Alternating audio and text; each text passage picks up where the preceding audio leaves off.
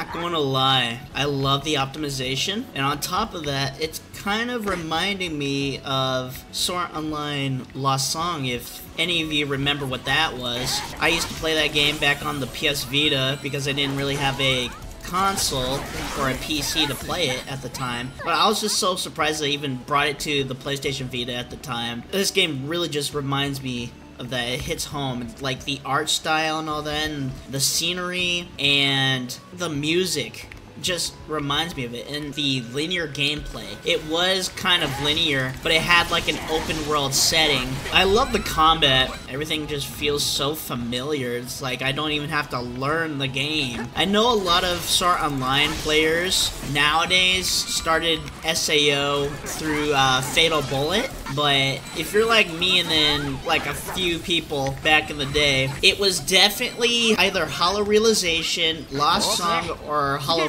Fragment that got you into Sword Online. If you haven't tried those games, you gotta try them out eventually. Wait, is that Starburst stream? I'm about to break his legs. I'm not gonna lie. I actually don't like this controller, and I spent money on it. I spent like 60, 70 bucks on this. Oh, shit. Anime intro time. Reki Kawahara. Yeah, this definitely feels like Lost Song. Yeah, this definitely is Lost Song. Just with better graphics and a different story. Wait, it jiggles? No way it jiggles.